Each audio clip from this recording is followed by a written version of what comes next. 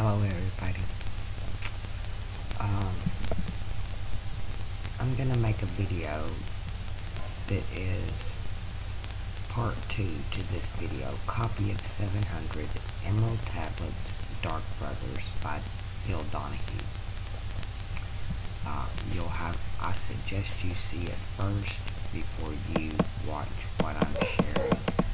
I have, um, it was uploaded today. You can find Bill Donahue at www.hiddenmeanings.com. Now, we're going to talk about verb. Verb. Noun. A noun is a, in grammar, is a person, place, or thing. Noun, verb, plural, noun, verbs. A word used to describe an action, state, or occurrence.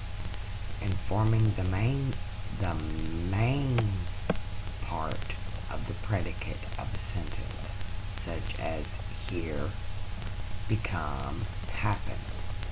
Verb, third person. Remember that three, that triangle, that triune. Person present. Verbs past tense, verbed. Past particle, verbed. Gerund or present particle, verbing. Uh, use a word that is not conventionally used as a verb, typically a noun as a verb.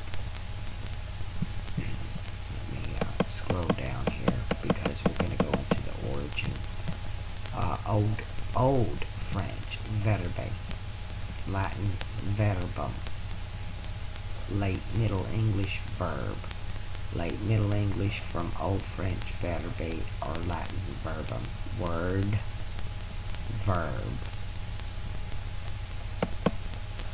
etymology a verb noun from the late 14th century from old verbe word word of god saying part of speech that expresses action or being and directly from verbum verb originally a word. In the beginning was the word. From the Proto-Indo-European root where because they didn't have the V became the W. It started out as a U, went to a V, and then to a W. To speak, source of Avestian. It's a command in Sanskrit vrata. Command, a vow. Greek rhetor is where we get rhetoric. Public speaker. Agreement, covenant, speak. Say, Hittite, Wiriga, call, summon. Lithuanian, Vardas. When we have Vader. It's from the Gothic ward, Old English word, verbatim, which is actually word for word, verbose. Uh, we are verbal, it's verbiage, abundance of words, verbose, full of words.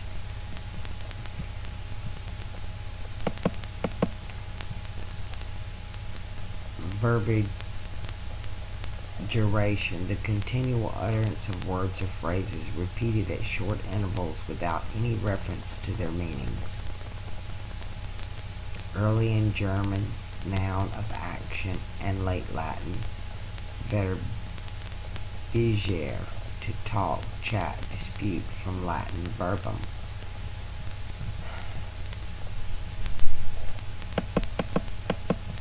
Verbarian, word coiner. Notice the phrase.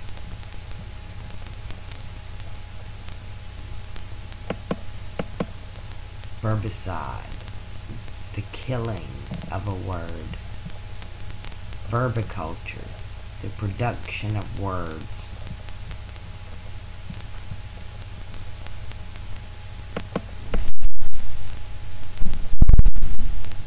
And verbis, in just so many words, that is, in these very words. Of course, rhetoric, verve, special talent in writing, euthanasium in what pertains to art and literature from French verbe. uh, euphemism, especially pertaining to the arts.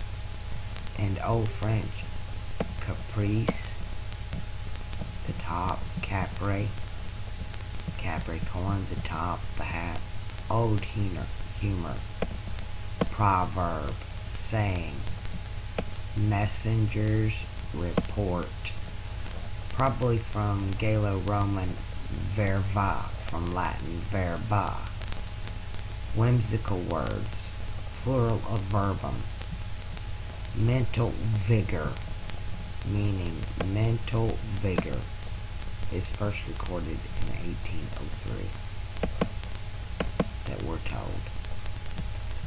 Word, speech, talk, utterance, all this falls under verb. The meaning, promise.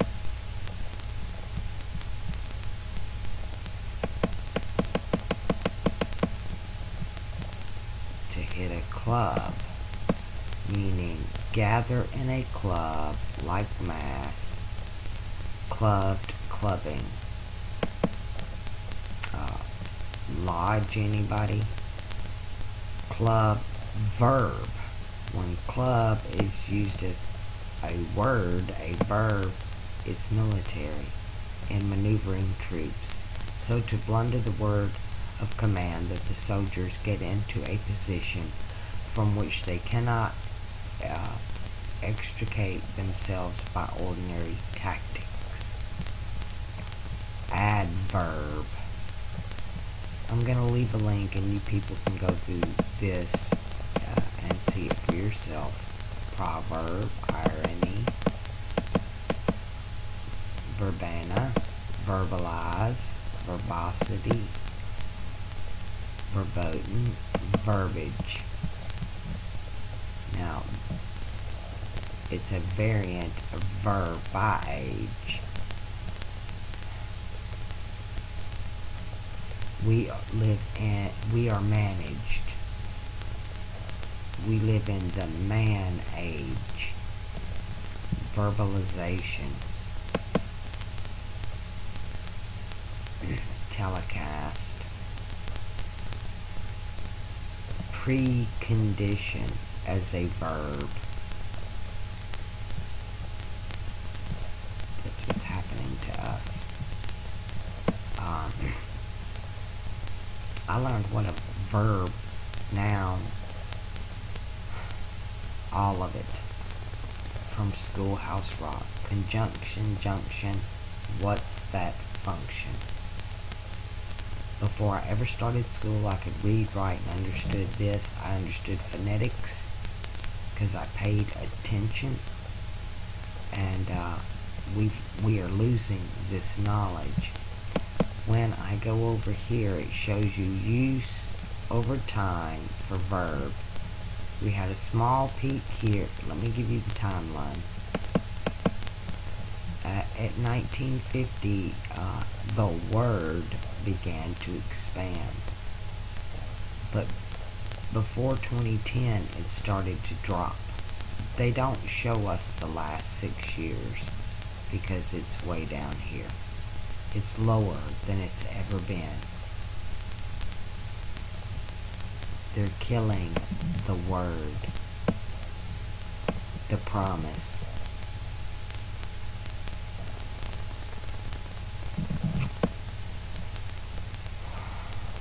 Okay, people. I'm going to leave that at that. I'll give you the links to all th three of the sources so that it'll make your homework easier. And if you don't get it or you don't do your homework, it's not my fault. I'm telling you. I'm verbalizing. Now you do your part.